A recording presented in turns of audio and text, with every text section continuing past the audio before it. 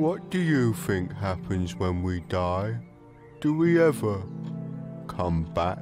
Well, I guess nobody really knows.